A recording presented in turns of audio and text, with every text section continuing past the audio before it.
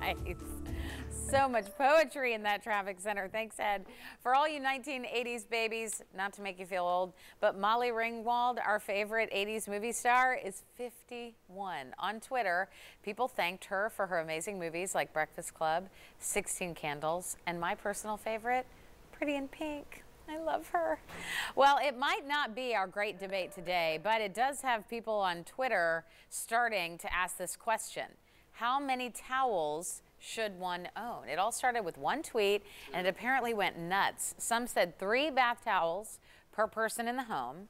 Others said all grown-ups should have 12 shower towels, eight guest towels, and one and one mystery towel. What's the mystery towel for? What's the perfect number of towels? I say two per person. Two per person. All right, is your spouse your biggest fan? Dolly Parton says hers isn't.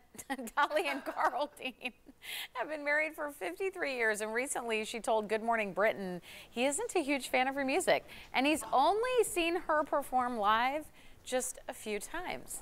Is that crazy? 53 years. He's kind of under the radar, though. She says, quote, he's not necessarily one of the biggest fans of my music. He's proud of me, and he loves that I love what I do.